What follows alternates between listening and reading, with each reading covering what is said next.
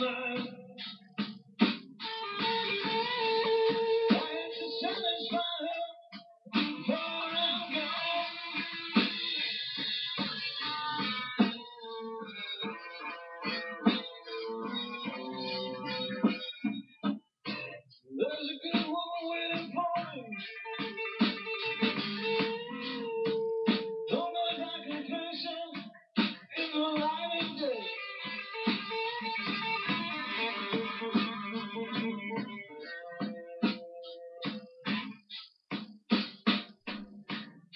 There's a good woman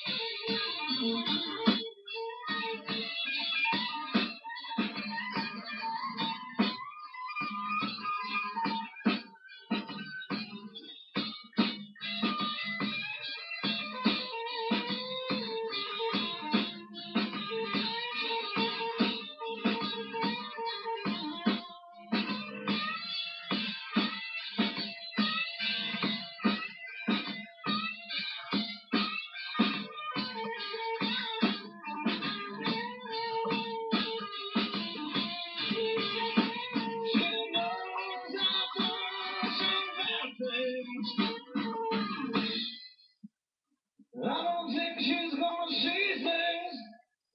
My